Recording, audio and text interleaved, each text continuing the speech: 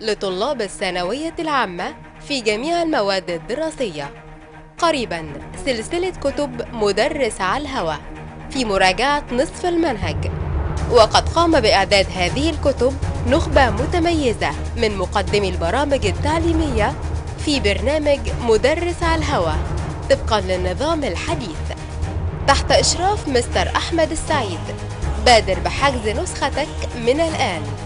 الكتاب الأول كتاب اللغات مراجعة نصف المنهج في اللغة العربية اللغة الإنجليزية اللغة الفرنسية اللغة الألمانية واللغة الإيطالية. الكتاب الثاني كتاب المواد الأدبية مراجعة نصف المنهج في التاريخ الجغرافيا علم النفس والاجتماع والفلسفة والمنطق. الكتاب الثالث كتاب المواد العلمية. مراجعة نصف المنهج في الفيزياء الكيمياء الرياضيات الأحياء والجيولوجيا. تمنياتنا القلبية بالتوفيق والنجاح لكل طلابنا الأعزاء. أعزائي طلبة وطالبات الثانوية العامة أهلا بكم في حلقة جديدة من حلقات برنامج مدرس على الهواء الحلقة رقم 40 صباح الخير على كل طلابنا الأعزاء. صباح الخير على كل مدرسي الجغرافيا على مستوى الجمهورية اللي يتابعونا واللي إحنا كالعادة مستنيين كل ملاحظاتهم حتى نرتقي بالبرنامج وندنو من الكمال. النهاردة هيكون آه، أستاذ الجغرافيا معانا في ضيافتنا مستر خالد عثمان. صباح الخير يا مستر. صباح الفل. حبيبي شرفنا وتشرفنا كالعادة. ولو عندك أي آه، يعني تساؤلات أو توجيهات للطلبة بتاعتك آه، قبل ما تبدأ الحلقة it's OK إن شاء الله تبقى سنة جميلة وسنة سعيدة على كل الطلبة. تمام. وتبقى سنة كلها خير ونجاح وتفوق. وبس هي النصيحة اللي إحنا دايما بنقولها للطالب في البداية كده إنه لازم هيذاكر يحل كتير تدريبات كتير عشان دي ثانوية عامة مهمة وسنه مصيرية فالواحد يحل ويتدرب ويكون عنده كده ربط بين المنهج والخريطة دايما لأن الأسئلة كلها تبقى مرتبطة بالخريطة وده هنشوفه النهارده في حلقة النهارده إن شاء الله. تمام. هنتكلم عن إيه النهاردة؟ النهارده هنتكلم عن العاصمة تمام. وهنتكلم عن قلب الدولة وهنطبق على الخريطة خريطة العالم السياسية وهنطبق مجموعة من الأسئلة إن شاء الله في الجزء ده. جميل. حلقة موفقة إن شاء الله يا إن شاء الله. اتفضل يا حبيبي. اتفضل. اتفضل.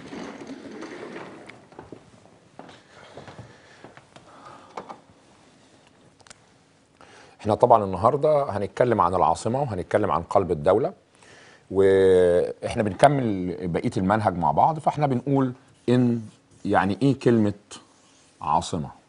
فبلاقي إن العاصمة هي أهم مدينة دي أهم مدينة في الدولة.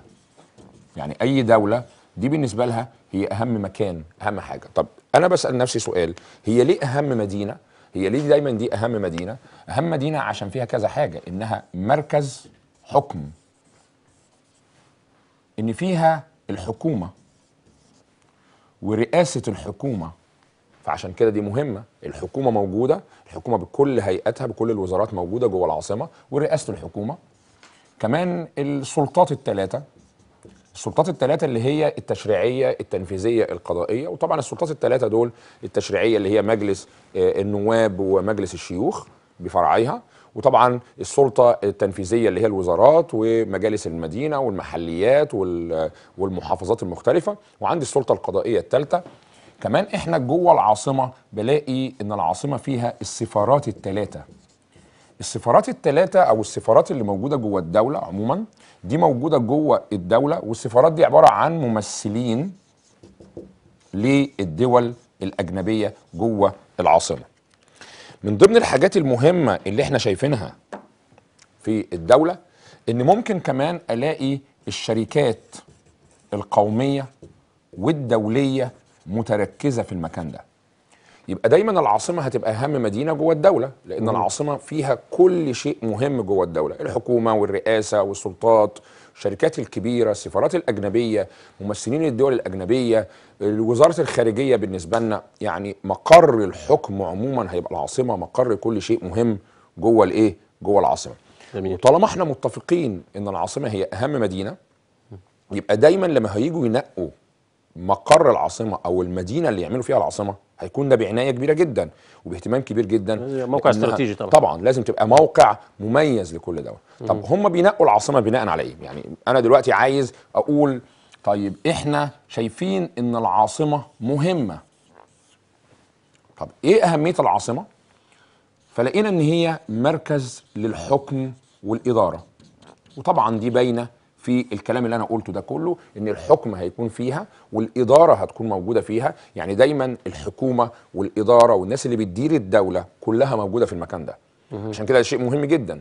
وهم بيسيطروا على الدولة أو بيسيطروا على إدارة الإيه؟ الدولة. فبنقول دايما على إن العاصمة في لفظ كده كاتبينه عندنا في المنهج يقول لك ضابط إيقاع الدولة. ان هي بتضبط الإيقاع بتاع الدولة وهي اللي بتحرك كل الأمور داخلها. في كمان وظيفة تانية أو حاجة مهمة جوه العاصمة تانية إنها مركز للقوة والسلطة. يعني الأمور السلطة والقوة كلها متركزة في العاصمة. السيطره على وزارة الدفاع والجيش والشرطة وكل مناحي الحياة والقوة كلها والباور والقرارات كلها طالعة منين؟ من العاصمة. جميل. كمان العاصمة مركز ثقافي. فلما نقول إنها مركز ثقافي طبعا الإعلام الجامعات المهمة اللي موجودة عندنا داخل الدولة آه، المسارح السينمات المكتبات المهمة كلها موجودة جوه العاصمة. وده مش موجود بس عندنا في مصر يعني أي دولة في العالم هنلاقي إن العاصمة فيها ال- ال- شعلة الثقافة وكل شيء كان جواها. حتى إحنا عندنا في مصر زمان كانت العاصمة اسكندرية أيام البطالمة واليونان فكان فيها جامعة اسكندرية كانت هي مركز العلم في العالم كله. دلوقتي إحنا عند القاهرة العاصمة هتلاقي إن أقوى الجامعات اللي في مصر موجودة فين؟ في العاصمة اللي هي. القاهرة. مركز حكم مركز إدارة مركز قوة وسلطة مركز ثقافي يبقى أنا كده عندي العاصمة بتقوم بثلاث وظائف كمركز. يعني بتلعب ثلاث أدوار إنها مركز ومركز ومركز لثلاث حاجات. العاصمة كمان حلقه اتصال بين الدولة والعالم. يعني العاصمة هي اللي بتربط بين الدولة نفسها وبين العالم. طب هي تربط إزاي بين الدولة والعالم؟ هتربط بين الدولة والعالم عشان الجملة دي موجودة جواها اللي هي السفارات. السفارات تمام. يبقى أنا كده السفارة هتبقى هي الوسيط اللي هيربط بين الدولة وبين دولة تانية. يعني مثلا على سبيل المثال سفارة فرنسا. يبقى سفارة فرنسا دي همزة وصل وحلقة اتصال بين الحكومة المصرية اللي موجودة هنا وبين دولة فرنسا. أي علاقات تجارية علاقات اقتصادية علاقات سياسية يبقى السفير ده بيعمل عملية ربط ما بين الاثنين تمام. نقطة كمان إن العاصمة هي ملتقى طرق النقل والمواصلات. يعني إيه ملتقى طرق النقل والمواصلات؟ يعني أنا دلوقتي ال- المكان السنتر اللي بيمر عليه كل خطوط الطرق سواء طرق برية، سكك حديدية، آه، طرق نهرية إذا كانت الدولة فيها أنهار هيبقى هو العاصمة. فأنا مثلا على سبيل المثال عندي في مصر ألاقي إن القاهرة السكة الحديد الطرق الدائرية الطرق السريعة في ثورة في الطرق والكباري والنقل كله لازم يعدي على. العاصمة لأن ليه طبعا ليه هيعدوا على العاصمة عشان العاصمة فيها كل حاجة فاللي عايز يمر بأمور سياسية عايز مصالح اقتصادية مصالح صناعية مصالح صحية هيجي العاصمة. فبالتالي دايما هنلاقي طرق سريعة سكك حديدية مترو أنفاق حتى المطارات الكبيرة هتبقى موجودة في العاصمة. العاصمة. يبقى كده لما واحد يقول لي إيه أهمية العاصمة؟ يبقى أنا عندي الخمس حاجات دول. طبعا إحنا في النظام القديم أو للطلبة الأزهرية اللي موجودة هيبقى السؤال المباشر بما تفسر العاصمة مهمة للدولة. لا يمكن الاستغناء عن العاصمة ساعتها بديله الخمسة دول. جميل. لكن مع النظام الجديد إحنا مش هيجي لنا سؤال بما تفسر. بس ممكن يجي مثلا يقول لك إيه؟ العاصمة تقوم بدور كمركز لي ويديني اختيارات. يبقى أنا هختار واحدة. لو كاتب لي حكم واداره يبقى صح. لو كاتب لي قوة وسلطة يبقى تمام. مركز ثقافي. برضه في النظام الجديد اللي هو بيعتمد على أسئلة الصح وغلط يبقى أنا ما أقول دلوقتي العاصمة يشابهها في الأهمية مدن كثيرة داخل الدولة. يبقى العبارة غلط لأن مش هيشابهها لأن العاصمة مميزة بحاجات معينة. أم، لا لا لا تهتم العاصمة بالسفارات الأجنبية. لا تهتم خطأ. لأن في في ربط وفي علاقة وفي اتصال. أه، تهتم الدول بنشأة العواصم. طبعا تهتم لأن العاصمة بتقوم بأدوار مهمة جدا والعاصمة بالنسبة لي هتبقى مهمة جدا. طالما اتفقنا على الحتة الأولانية إن العاصمة مهمة وإن العاصمة بتلعب دور رئيسي جوه الدولة يبقى لازم نشوف كل دولة اختارت العاصمة إزاي. جميل. وهل الدول لازم كلها تتشابه في اختيار العاصمة؟ يعني مثلا دول اختاروها عشان في موقع وسط يبقى لازم كله بيختار بنفس الطريقة. هل كله هيختار بنفس بالأهمية التاريخية؟ لا طبعا كل دولة ليها ظروفها كل دولة ليها آه، الخصائص الثقافية بتاعتها والسياسية ليها وليها تاريخها. في دول بتبقى دول قديمة دول قديمة دول تاريخية قديمة زي مصر زي العراق زي إيطاليا زي فرنسا بريطانيا. وفي دول جديدة. لسه ناشئة من 200 سنة 300 سنة آه، 500 سنة زي الولايات المتحدة الأمريكية أستراليا القاره الأمريكية الأمريكتين الكلام ده كله. عشان كده إحنا لما بنبدأ نشوف إحنا هنختار العاصمة إزاي هنلاقي ان في عوامل لاختيار العاصمة مختلفة. وفي أسباب لاختيار العاصمة مختلفة. بمعنى ان أنا عندي حاجة اسمها عوامل اختيار العاصمة. ممكن تبقى عوامل اختيار العاصمة ممكن نسميها أسباب اختيار العاصمة. ممكن أقول بدل أسباب أقول شروط اختيار العاصمة. آه، إحنا بنختار العاصمة بناء على إيه؟ فأنا بختار العاصمة واحد. ممكن أختار العاصمة عشان العامل التاريخي. يعني إيه؟ أنا بختار العاصمة عشان العامل التاريخي. يعني أنا جيت آه، عايز أختار عاصمة فقدامي مدن كتيرة جوه الدولة. طب هنقي المدينة دي ليه؟ نقيتها عشان المدينة دي المدينة دي اللي هعملها عاصمة يعني أنا هعمل المدينة دي عاصمة مدينة تاريخية. مدينة لها أهمية تاريخية. ممكن واحد يقول لي طب ما أهمية تاريخية تساوي كلمة أهمية حضارية إن ليها حضارة وليها تاريخ وليها تأثير. طبعا.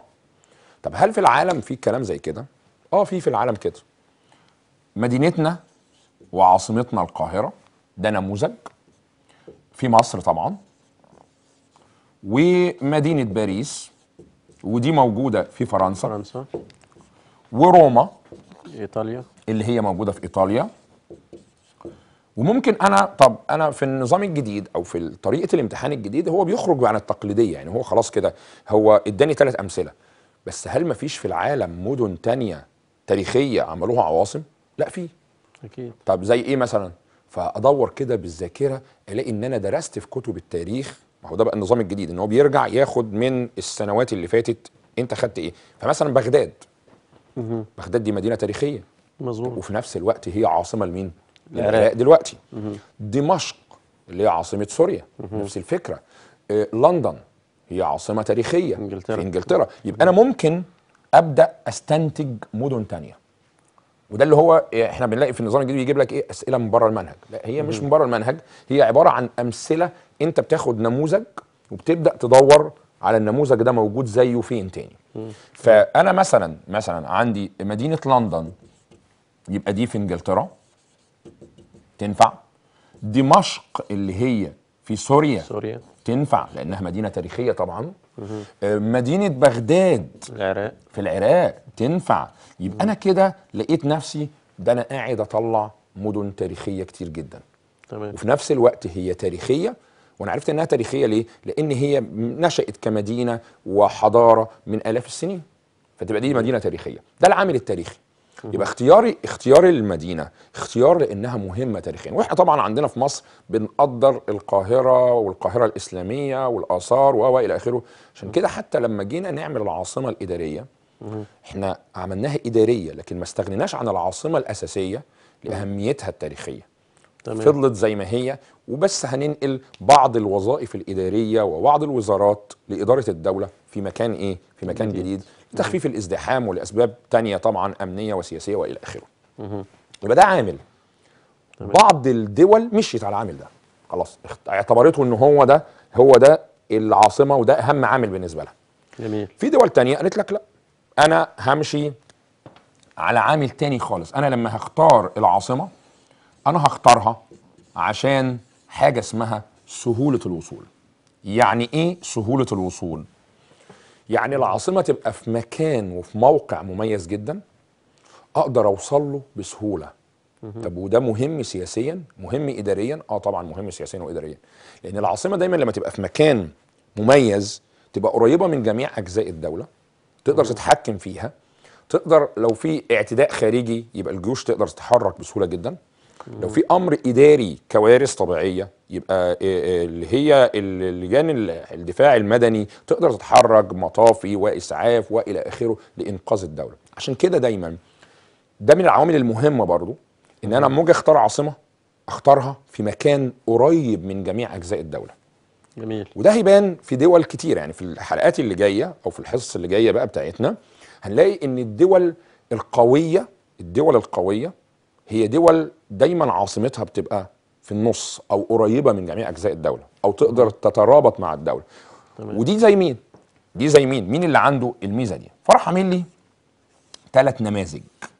قال لي أنا هديك ثلاث نماذج موجودة في العالم. وزي ما اتفقنا إن إحنا هناخد النماذج وهنلاقي ليها شبيه مظبوط. ليها شبيه في العالم تاني. النموذج الأول هي مدينة مدريد. ومدينة مدريد هي عاصمة أسبانيا. أسبانيا تمام. ومدريد أنا بتخيل كده شكل مدريد ماشي لأن هنا عندها البرتغال في الحتة دي فبلاقي إن مدريد في النص.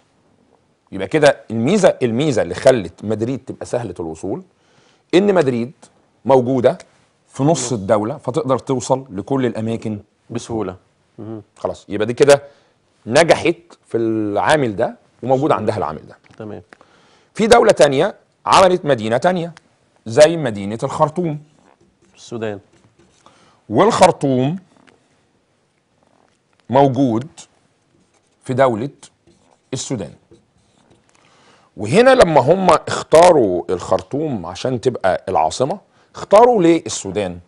اختارت الخرطوم عشان عندهم نهر النيل فالخرطوم الخرطوم على نهر النيل. يبقى الميزة اللي هنا اللي خلت الخرطوم تبقى سهلة الوصول هو إيه؟ إنها موجودة على النهر. على نهر النيل. فالنهر هيساعدها في الاتصال جنوبا وفي الشمال. الشمال. يبقى ممكن اختار العاصمة تبقى سهلة الوصول لما تبقى في وسط الدولة. وممكن تبقى سهلة الوصول إنها تبقى على نهر. فالنهر هو همزة الوصل اللي هيساعدها في الاتصال. جميل. ده اتنين. في نموذج ثالث سهل الوصول في نموذج ثالث زي نواكشوط ونواكشوط هي عاصمة موريتانيا. موريتانيا. تمام. ودي موجودة على المحيط الأطلنطي. تقول أطلسي ماشي مفيش مشكلة. فبلاقي إن المدينة دي موجودة اللي هي نواكشوط على المحيط. هتقولي طب ما هي كده على المحيط. طب هتتصل بالدولة إزاي؟ نواكشوط الطبيعة بتاعتها صحراوية. وبالتالي معظم المدن بتاعتها أو بتاعت الدولة دي موجودة على السواحل. يبقى كده هم هيتصلوا ببعض عن طريق إيه؟ عن طريق السواحل. السواحل تمام. يبقى ده نموذج ثالث يبقى أنا كده كطالب قدامي ثلاث نماذج لسهولة الوصول. نموذج سهل الوصول لأنها في النص. تمام. وده ممكن أطبقه على مين؟ ز- مين عنده الميزة دي تاني؟ مين عنده الميزة بتاعت سهلة الوصول؟ هلاقي مدن كتير زي أنقرة في عاصمة تركيا. ففيها سهوله الوصول. هلاقي الرياض اللي موجودة في السعودية في النص. يبقى دي مزايا. يبقى كده هو عنده سهوله الإيه؟ الوصول. بس ما قالوش عليها. بس أنا لما بمسك الخريطة ببدأ ألاقي في دول عواصمها في النص. يبقى دي كلها تنطبق عليها المبدأ ده. تمام. طيب بتاع اللي هو المس... النموذج الثاني اللي هو على نهر النيل. قال لا، القاهرة. الله طب ده هم قالوا إن القاهرة تاريخية. مفيش مشكلة. بس القاهرة. تنفع كمان. تنفع سهولة الوصول الوصول. نهر النيل. وإحنا طبعا عارفين نهر النيل ده وسيلة الربط بين شمال والجنوب في مصر وفي نقل نهري. طب دي ميزة تانية. طيب النوع الثالث اللي هو موريتانيا ونواكشوط وإلى آخره اللي هي دي ده نموذج ثالث إن ممكن المدينة تبقى على الشواطئ. وإحنا عندنا الدار البيضاء موجودة في المغرب بالنموذج ده وتونس عاصمة تونس موجودة بالكلام ده كله والجزائر عاصمة الجزائر وهكذا. يبقى في نموذج تاني أو في نوع تاني ممكن أختار العواصم فيه اسمه سهولة الإيه؟ الوصول. كده أنا عندي عاملين. طيب في عوامل تانية. في عامل ثالث والعامل الثالث اسمه الحماية والدفاع. يعني إيه الحماية والدفاع؟ يعني لما بتيجي تختار عاصمة أنت بتختار العاصمة عشان تبقى في مكان يؤمن لها الحماية من الهجمات الأعداء. طب في الحالة دي واحد هيقول لي طب ما أنت كده لازم تخلي العاصمة داخل الدولة. يعني ليست على السواحل. يعني لازم يبقى ليها عمق جغرافي. تمام. الكلام مظبوط. ده كلام صح. يعني زي مين؟ فقال لي زي مثلا زي أنقرة. كانت زمان العاصمة اسمها اسطنبول. اسطنبول. دي كانت على سواحل. على السواحل. عند مضيق قي البوسفور والدردنيل مع الدول الأخرى عند البحر الأسود. الله طب لقينا إيه؟ لقينا إن تركيا راحت نقله العاصمة لجوه. توفير الحماية. عشان توفر الحماية لأن طبعا دايما لما بتكون العاصمة على السواحل بيبقى فيها هجمات للأعداء سهولة, سهولة في طبعاً. اعتداء بالمراكب والمدفعية والاحتلال سهل جدا. وده حصل لنا في الحملة الفرنسية لما كانت مدينة الإسكندرية على الساحل احتلوها بسهولة. بس اما جم يخشوا العاصمة اللي هي ساعتها القاهرة قعدوا كذا كذا يوم كذا أسبوع لأن بعيدة شوية فيها مقاومة شوية. ممكن واحد يروح باصص لي كده يقول لي إيه؟ طب ما ده عكس الكلام ده بتاع سهولة الوصول. يعني إحنا نختار العاصمة عشان على الساحل فيها سهولة وصول ولا نختار العاصمة عشان جوه فيها عمق بس جغرافي؟ هنا ما عندهاش بديل. ما عندهاش بديل وكل دولة ليها أولوياتها. مظبوط. أنا حر. أختار العاصمة زي ما أنا عايز. أختار العاصمة جوه. ممكن يكون بعد تجاري بالنسبة لها. مثلا. هنا أختار العاصمة جوه. أنا حر. يبقى أنا أولوياتي تأمين ودفاع و إلى آخره. أختار العاصمة على السواحل. يبقى أنا أولوياتي زي ما حضرتك بتقول علاقات تجارية وعلاقات سياحية وإلى آخره. فأنا حر. هتفاجئ طبعا إن القاهرة برضو فيها القاهرة فيها برضو الحماية والدفاع.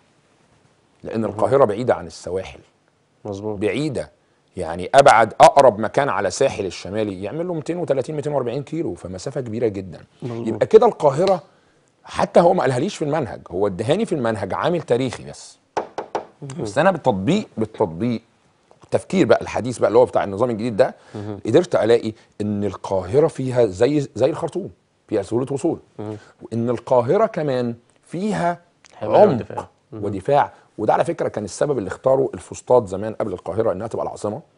عشان كانت اسكندرية زمان العاصمة أيام الرومان والبطالمة فكان بتتعرض لهجمات كتيرة جدا.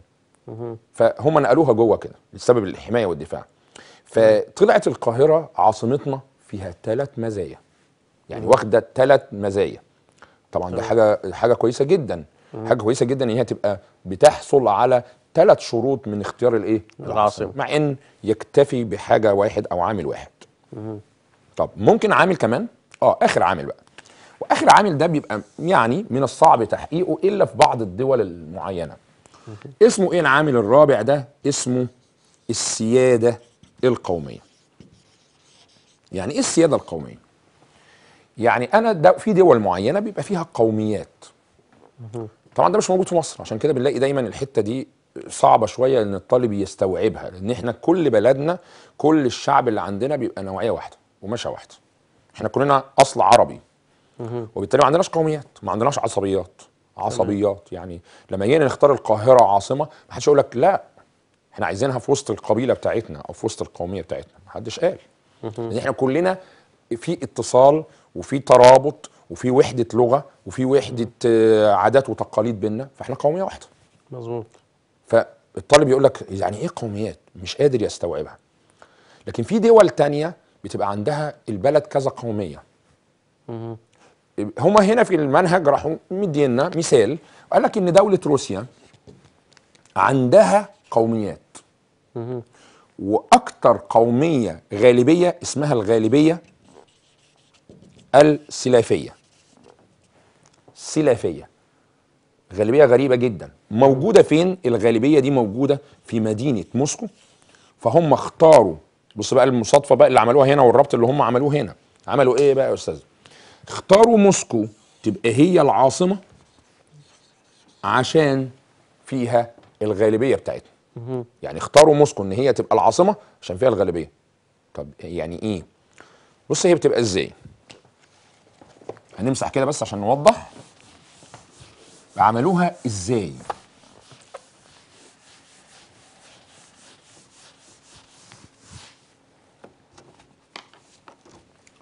مثلا أنا عندي دولة فالدولة موجود فيها إيه؟ فيها مثلا قومية في المكان ده قومية في المكان ده والمكان ده قومية والمكان ده قوميه قومية يعني ناس ليهم أصل متشابه ليهم لغة ليهم خصائص تختلف عن الباقي. ده جزء ده جزء ثلاثة أدي جزء وهكذا. مم. إما أجي إما أجي أعمل أعمل اختياري أعمل اختيار للعاصمة يقول لك دايما سياسيا ومن أجل الحفاظ على الحكم يجب أن تختار العاصمة في وسط الأغلبية السكانية. ليه في وسط الأغلبية السكانية؟ عشان هم اللي هيحموا الحكم وهيدافعوا عنه. يعني دي ناحية سياسية كده. جميل فهم هنا لما يجوا يختاروا العاصمة في وسط الغالبية مثلا لو في هنا 10% من السكان دول قومية هنا 20% يبقى كده 30 هنا 40% هنا 10% مثلا هنا 20% يبقى كده لما أجي أنا أختار ال- القومية أو أختار العاصمة الأنسب من أجل الحفاظ على العاصمة والحاكم أح- أحطها فين؟ يبقى أحطها في مكان اللي هو 40% تبقى العاصمة موجودة في المكان ده. لأن المكان ده هيبقى مكان الأغلبية موجودة فهتحافظ على العاصمة وتحافظ على النظام الحاكم في الدولة. وده حصل تاريخيا في أماكن كتير جدا. تمام. يعني حصل في أماكن كتير جدا. من الأماكن اللي حصل فيها مثلا في الخلافة الأموية لما جم اختاروا دمشق عاصمة. بعدوا عن الكوفة بتاعت علي بن أبي طالب مقر الحكم. إيه ده ليه؟ عشان في وسط الأغلبية. في وسط أنصاره في وسط مؤيدينه يبقى لما يبقوا في وسط أنصاره ومؤيدينه يبقى بيحافظوا على كرسي الحكم وعلى الحاكم. جميل. ده مش موجود في مصر. يبقى أنا كده يبقى أنا كده مصر أو القاهرة بتاعتنا عاصمتنا مش موجود فيها مش موجود فيها العامل اللي هو السيادة القومية. لكن توافر العامل الأول اللي هو عامل التاريخي وتوافر سهولة الوصول وتوافر كمان الحماية والدفاع. كده إحنا فهمنا إيه أو عرضنا إيه قدامنا دلوقتي؟ إحنا عرضنا العوامل الأربعة اللي هم بنختار العاصمة عشانهم. جميل. خلصنا اختيار العاصمة. خلاص اخترنا العاصمة وعملنا. بنلاقي بقى في نوعين في العواصم. بيبدأ يقسم لي العواصم اللي في العالم إلى نوعين.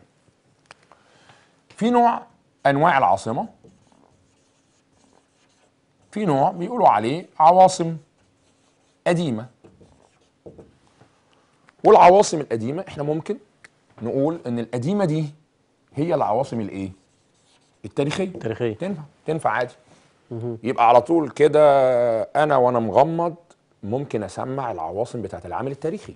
ما هي هي. يبقى هقول القاهرة وأقول روما وأقول باريس وأقول لندن. طب هم بيسموها ليه عواصم قديمة؟ لأنها مارست مهام ووظيفة العاصمة من فترات إيه؟ طويلة جدا. يعني بيقولوها بطريقة تانية يقول لك إيه؟ كانت مركز الحكم والإدارة ومركز للاقتصاد ومركز ثقافي من قرون عديدة. والقرن طبعا 100 سنة يبقى كأني بقول آلاف الايه السنين سنين. أو مئات السنين. دي ده نوع. ده نوع موجود. طيب تعالوا بقى نروح للنوع الثاني والنوع الثاني اللي إحنا بنقول عليه العواصم الحديثة أو ممكن نسميه العواصم الإيه؟ مستحدثة. المستحدثة. يعني إيه عواصم حديثة؟ يعني إيه عواصم مستحدثة؟ فالعواصم الحديثة والمستحدثة إني أنا بنقي عاصمة أو بعمل عاصمة جديدة بدل القديمة. القديم أنقل مكانها يعني. آه بغير بعمل مكان جديد. الحتة دي بقى تلاقي دول كتير بتختلف فيها. يعني ليه عملت عاصمة جديدة؟ واحد يقول لك مثلا لا أنا مش عاجبني إن هي على البحر على السواحل تتعرض لهجمات. تخليها جوه. زي اللي. حصل في تركيا. زي برافو. يبقى زي اللي حصل في أنقرة خلاص حمايه ودفاع ممكن تلاقي دولة تانية لا شايفة إنها تنقل عاصمة عشان السكان بقى ازدحام كبير جدا فانقلهم لمكان تاني يخفف الازدحام. وده حصل في البرازيل. نقلت العاصمة من ريو دي جانيرو مع إنها على الساحل بعتتها جوه في برازيليا. الجو حار بس هم عملوا كده عشان ينقلوا الكثافة السكانية في مكان جديد. ده يشبه اللي إحنا بنعمله. إن إحنا بنعمل عاصمة إدارية جديدة. تمام. وبالتالي أنا بعمل انفراجة سكانية بنقل السكان إلى مكان جديد. طب هو في المنهج عمل إيه؟ راح مديني نموذجين يا مستر. راح قال إيه؟ عندك نموذج؟ آه راح قايل لي في نموذج موجود في دولة اليابان تمام. إن العاصمة القديمة كان اسمها كيوتو. بقى طوكيو. ودي كانت داخلية يعني جوه اليابان تمام. وراحوا عاملين عاصمة حديثة جديدة اسمها طوكيو. بس دي خارجية يعني على الساحل. تمام. ومثال تاني راح قايل لي دولة نيجيريا. اليابان طبعا عشان الناس تبقى مركزة دي في قارة آسيا عشان لما نعرض الكلام ده على الخريطة. تمام. ونيجيريا موجودة في قارة أفريقيا. طيب إيه بقى؟ دول عملوا إيه؟ كانت العاصمة القديمة اسمها ليجوس ودي كانت ساحلية. راحوا نقلوا العاصمة إلى أبوجا ودي داخلية. طبعا حضرتك. لو مركز كده هتلاقي إيه؟ هتلاقي حاجة غريبة. هما الاثنين نقلوا العاصمة. جميل. بس واحد نقلها من جوه لعلى الساحل وواحد نقلها من الساحل لجوه. اللي جوه تمام. يبقى ده بيفهمني إيه؟ إن كل واحد بيختار العاصمة حسب احتياجاته. هو عايز إيه؟ مش فارقة معاه تبقى على الساحل جوه. يعني ده ده مشي بمبدأ إيه؟ لما دخل جوه. مشي بمبدأ إيه؟ مشي بمبدأ الحماية والدفاع. طب وده لما طلع بره مشي بمبدأ إيه؟ مشي بمبدأ سهولة. سهولة الوصول. المهم إن هو مشي بأرب بواحد من المبادئ الأربعة اللي عنده إيه اللي هيخدم معاه أكتر؟ يفرق معاه. يعني مثلا دولة اليابان لما اختارت طوكيو على الساحل هي طوكيو دي موجودة من زمان ومركز حضاري بس هم عايزينها تجارة. مركز تجاري آه تبقى أفضل. إن دولة اليابان الطبيعة بتاعتها عبارة عن دولة جزر.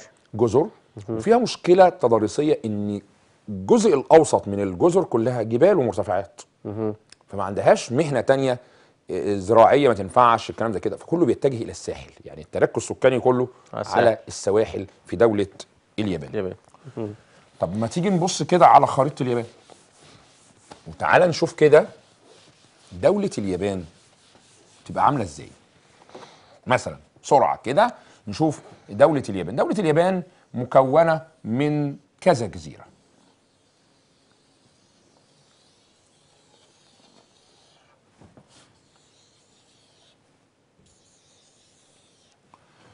في مجموعة من الدول هتبقى موجودة في الجزء ده. هي عبارة عن كذا جزيرة. دي جزيرة اسمها هوكايدو ودي جزيرة اسمها هونشو ودي جزيرة اسمها شيكوكو ودي اسمها كيوشو. آه شيكوكو دي مش بتاعت شيكوكو؟ بتاعتنا. تمام. طيب. يبقى أنا ده كده أربع جزر. اولا في مشكلة في اليابان إنها إنها جزر غير مترابطة جغرافيا ودي هندرسها بعد كده في حلقات جاية وهنعرف إن يعني إيه كلمة إنها غير مترابطة إيه؟ جغرافيا. يعني مش متصلة مع بعض. تمام. تاني مشكلة في دولة اليابان إن تيجي في النص كده تلاقي جبال فالشعب كله بيتجه إلى السواحل. طب هي سواحلها على إيه؟ سواحلها هنا بحر اليابان. وسواحلها في المكان ده المحيط الهادي. آه يعني هي دولة جزريه دولة جزريه مجزأة. طيب فين كيوتو اللي إحنا بنتكلم عليها؟ كيوتو دي كانت جوه هنا. راحوا عملوا إيه؟ اختاروا العاصمة تبقى كده. تبقى طوكيو كده. تمام. يبقى كده خرجوا بره. آه. في مدينتين برضو كده موجودين عندنا في الخريطة بتاعت كتاب المدرسة. بيقول لك مدينتين هنا اللي هم اللي هم سقط عليهم القنابل النووية في الحرب العالمية ليها هيروشيما. هيروشيما وناجازاكي. أيوه. طبعا هنا أنا عندي كوريا الشمالية وهنا هتبقى كوريا الإيه؟ الجنوبية موجودة في المكان ده كدول. وعندي هنا دولة روسيا ووراهم هنا دولة الإيه؟ الصين. يعني ده بسرعة كده وببساطة دي خريطة دولة الإيه؟ اليابان. وطبعا إحنا خدنا بالنا إن كانت فين وبقت فين. هي آخر حاجة بقى نتكلم عنها قبل ما نشتغل على الخريطة. هو آه، العاصمة خلاص يعني كده يعني كل اهتمام الدولة كل اهتمام الدولة هيبقى بالعاصمة. ومفيش حتة مهمة تانية جوه الدولة يعني خلاص كده ما عنديش حاجة مهمة تانية؟ مفيش؟ لا طبعا في. مين قال إن أهم حاجة العاصمة ومفيش حاجة تانية؟ لا في مناطق مهمة تانية جوه الدولة. والمناطق المهمة التانية اللي جوه الدولة هم بيطلقوا عليها لفظ قلب الدولة. يعني يقول لك إيه. الدولة لها قلب. القلب ده ممكن يبقى زي إيه؟ ممكن يبقى قلب اقتصادي. يعني تبقى فيه المصانع والشركات والمزارع كل البيزنس بتاع الدولة والقوة الاقتصادية. طب في حاجة زي كده؟ في. في مثلا دولة اسمها الولايات المتحدة الأمريكية عندهم منطقة اقتصادية اسمها منطقة البحيرات العظمى اللي هي بين الولايات وبين كندا. ده قلب اقتصادي. يبقى توك يبقى مثلا عندهم واشنطن العاصمة بس في البحيرات العظمى اللي فيها شيكاغو والمنطقة دي مهمة. جميل. لها أهمية. هي مش زي العاصمة بس مهمة برضه. ماشي. ممكن يبقى القلب سياسي. يعني إيه سياسي؟ يعني حاطين فيه كل الوزارات والهيئات السياسية والمراكز الثقافية. زي القاهرة. إيه ده؟ بس مش القاهرة العاصمة لا القاهرة الكبرى. طب هو في فرق بين القاهرة والقاهرة الكبرى؟ طبعا في فرق. القاهرة العاصمة بس مدينة القاهرة بس لكن القاهرة الكبرى يبقى أنا في القاهرة الكبرى عندي حاجة تانية اللي هي القاهرة وأجزاء من محافظة الجيزة وأجزاء من محافظة القليوبيه طب أنا كطالب عادي كده عايز أعرف ببساطة ببساطة خط المترو ماشي في القاهرة الكبرى. يبقى بادئ من شبرا الخيمة ورايح لحدود مناطق في فيصل والهرم والمناطق دي كلها والدقي يبقى ده معانا في القاهرة الكبرى. وكمان طبعا كل محافظة القاهرة. وطبعا ممكن الاقي هيئات واهتمام في الأماكن دي. طيب عندي حاجة تانية؟ عندي قلب ديني. آه ده مهم لينا كلنا كمسلمين اللي هو مكة المكرمة ودي موجودة في دولة السعودية. سعودية طيب سؤال بقى. لما يجي يقول لي مثلا إيه القلب الديني هو دولة السعودية؟ أقول له العبارة غلط. القلب الديني هي مكة.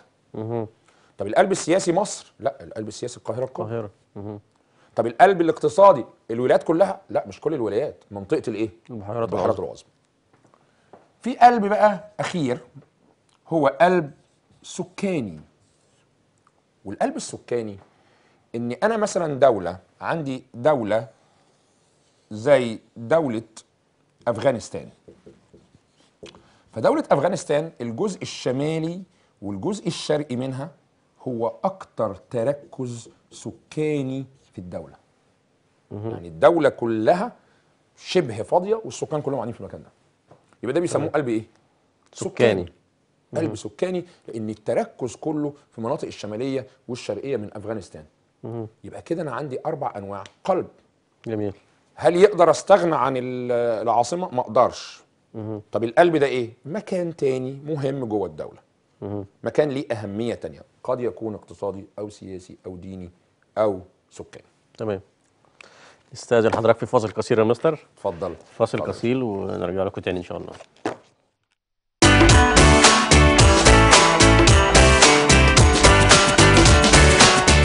بشرى هامة لطلاب الثانوية العامة في جميع المواد الدراسية. قريبا سلسلة كتب مدرس على الهوى في مراجعة نصف المنهج. وقد قام بإعداد هذه الكتب نخبة متميزة من مقدمي البرامج التعليمية في برنامج مدرس على الهوى طبقا للنظام الحديث. تحت إشراف مستر أحمد السعيد بادر بحجز نسختك من الآن. الكتاب الأول كتاب اللغات مراجعة نصف المنهج في اللغة العربية اللغة الإنجليزية اللغة الفرنسية اللغة الألمانية واللغة الإيطالية. الكتاب الثاني كتاب المواد الأدبية مراجعة نصف المنهج في التاريخ الجغرافيا علم النفس والاجتماع والفلسفة والمنطق. الكتاب الثالث كتاب المواد العلمية مراجعة نصف المنهج في الفيزياء الكيمياء الرياضيات الأحياء والجيولوجيا. تمنياتنا القلبية بالتوفيق والنجاح لكل طلابنا الأعزاء. ورجعنا لكم بعد الفاصل مع مستر خالد عثمان. اتفضل يا مستر. هنطبق دلوقتي مع الخريطة. هنبدأ نشوف بقى اللي إحنا اتعلمناه موجود فين. يعني مثلا إحنا قلنا العوامل أو العواصم التاريخية أو العامل التاريخي. التاريخي يبقى أنا لما اشاور على مصر كده يبقى هنا عامل تاريخي والعاصمة اللي هي إيه؟ القاهرة. شاورت على دولة فرنسا يبقى أنا عندي باريس. شاورت على دولة إنجلترا أو بريطانيا يبقى لندن. العاصمة هتبقى هتبقى إيه؟ لندن. لندن. عندي جوه إيطاليا يبقى روما. روما. يبقى دي العواصم التاريخية وكده عرفت أنا أماكنها كويس جدا. عندي إحنا قلنا إن في سهولة وصول زي مدريد اللي هي موجودة في أسبانيا يبقى أنا كده عندي مدريد. وعندي الخرطوم اللي هي جوه دولة الإيه؟ السودان. السودان. وعندي نواكشوط على الساحل في موريتانيا. يبقى دول ثلاثة إيه؟ سهولة وصول. تمام. العامل اللي بعده اللي هو كان الحماية والدفاع فإحنا قلنا أنقرة. وكده تبقى أنقرة جوه دولة تركيا. ده عامل إحنا بنقول عليه حماية وإيه؟ ودفاع. تنفع معايا القاهرة زي ما قلنا لأنها جوه برضه. السيادة القومية السيادة القومية موسكو اللي هي جوه روسيا. روسيا. ممكن واحد يقول لي طب ما موسكو كده جوه برضه. يبقى كده موسكو ممكن ينطبق عليها حماية وإيه؟ ودفاع ودفاع. لأن خلاص ما إحنا أي مبدأ الحماية والإيه؟ والدفاع والدفاع. ينطبق عليها. خدنا برضو من ضمن الحاجة اللي هي العواصم المستحدثة الجديدة. فكانت طوكيو. طوكيو في دولة اليابان زي ما قلنا. يبقى كده أدي اليابان موجودة في هنا أهي؟ وطوكيو. ولقينا إن في عندنا في نيجيريا عاصمة هتبقى موجودة جوه كده اللي أبوجا. اسمها ابوجا هتبقى موجودة جوه كده جوه دولة إيه؟ نيجيريا, نيجيريا. اسمها أبوجا بدل العاصمة اللي كانت على الساحل. القلب قلنا إن في قلب اقتصادي وهو منطقة البحيرات العظمى. أهي اللي هي موجودة ما بين دولة كندا موجودة ما بين دولة الولايات. يبقى المنطقة دي ده قلب اقتصادي. منطقة قلب سياسي القاهرة القاهرة الكبرى. منطقة قلب ديني اللي هي منطقة مكة المكرمة في دولة السعودية. يبقى شاور كده على دولة السعودية وبيقول لي قلب ديني يبقى مكة المكرمة. منطقة أفغانستان أو دولة أفغانستان دولة أفغانستان دي دولة حبيسة موجودة في قارة آسيا. يبقى لو شاور على شمال وشرق دولة أفغانستان هتبقى القلب السكاني. جميل. نتنقل دلوقتي للأسئلة مع بعض والتدريبات. اتفضل يا مستر نستاذن المخرج الجميل بتاعنا يجيب لنا ال- الصفحة رقم واحد من الأسئلة اللي مستر خالد مجهزها لنا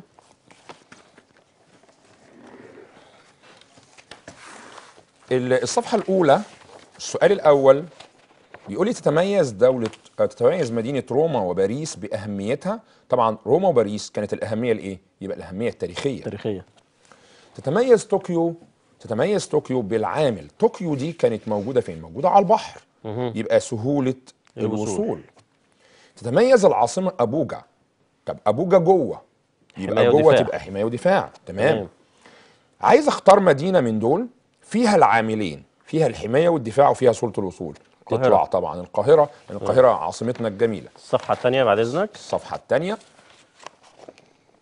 من العواصم المستحدثة عاصمة دولة. أنا عايز اسم الدولة اللي فيها العاصمة المستحدثة. طبعا هتبقى دولة اليابان. طبعا عشان فيها طوكيو. تمام. نمرة ستة عندما كانت الإسكندرية عاصمة لمصر كانت تتمثل في إيه؟ يعني إسكندرية لما كانت عاصمة كانت فيها إيه؟ كانت على البحر يبقى كانت فيها سهولة الوصول. تمام.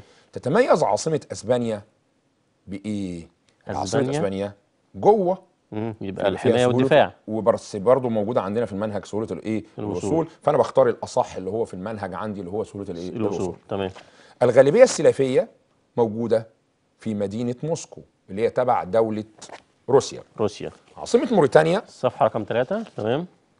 عاصمة موريتانيا تتميز بعامل موريتانيا موريتانيا عاصمتها على البحر. يبقى سهولة وصول سهولة وصول مكة المكرمة قلب ديني طبعا.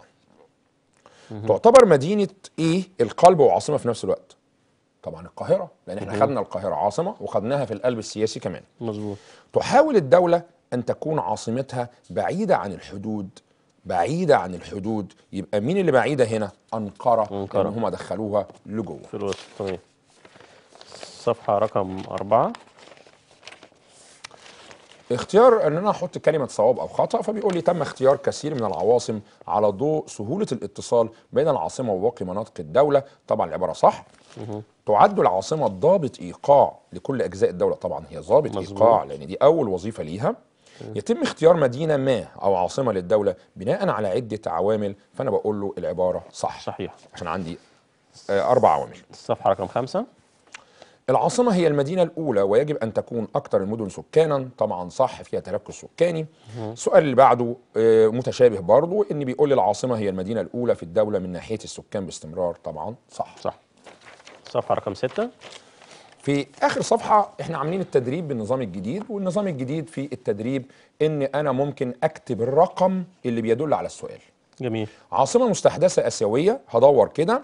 هلاقي رقم واحد هي العاصمة المستحدثة اللي هي طبعا طوكيو. ما بكتبش طوكيو. بكتب الرقم. تمام.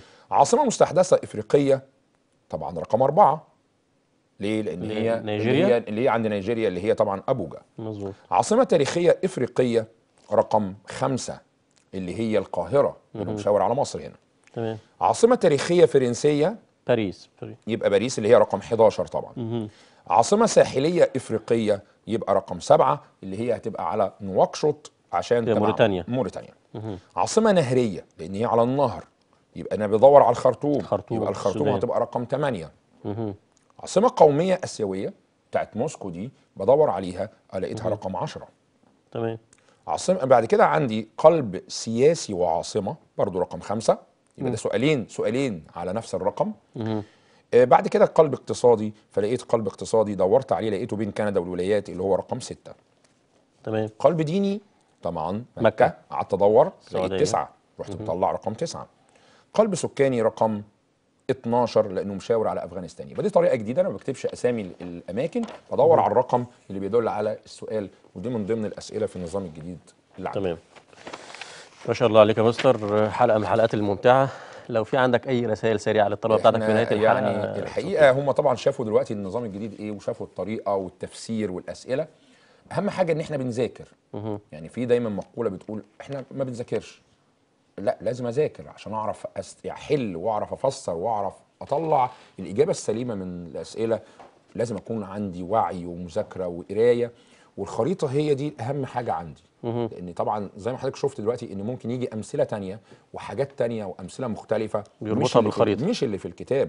وده الطريقة الجديدة إن هو عايز الطالب ياخد نموذج ويدور على نماذج تانية. يربط الأحداث ببعض. ويربط ببعض عشان يقدر يستوعب ما يبقاش آلة للحفظ بس. جميل جدا. شرفتنا يا مستر خالد. واتمنى سعيد نشوفك إن شاء الله. شاء الله هيبقى في آه، حلقات أفضل وأفضل وأفضل. إن شاء الله نشوف نتشرف بيك دايما يا رب. تمنياتنا القلبية للتوفيق آه، والنجاح دايما لطلابنا الأعزاء. شكرا شكرا لكم. هامة لطلاب الثانوية العامة في جميع المواد الدراسية. قريبا سلسلة كتب مدرس على الهوى في مراجعة نصف المنهج. وقد قام بإعداد هذه الكتب نخبة متميزة من مقدمي البرامج التعليمية في برنامج مدرس على الهوى طبقا للنظام الحديث. تحت إشراف مستر أحمد السعيد. بادر بحجز نسختك من الآن. الكتاب الأول كتاب اللغات. مراجعة نصف المنهج في اللغة العربية اللغة الإنجليزية اللغة الفرنسية اللغة الألمانية واللغة الإيطالية. الكتاب الثاني كتاب المواد الأدبية. مراجعة نصف المنهج في التاريخ الجغرافيا علم النفس والاجتماع والفلسفة والمنطق. الكتاب الثالث كتاب المواد العلمية. مراجعة نصف المنهج في الفيزياء الكيمياء الرياضيات الأحياء والجيولوجيا.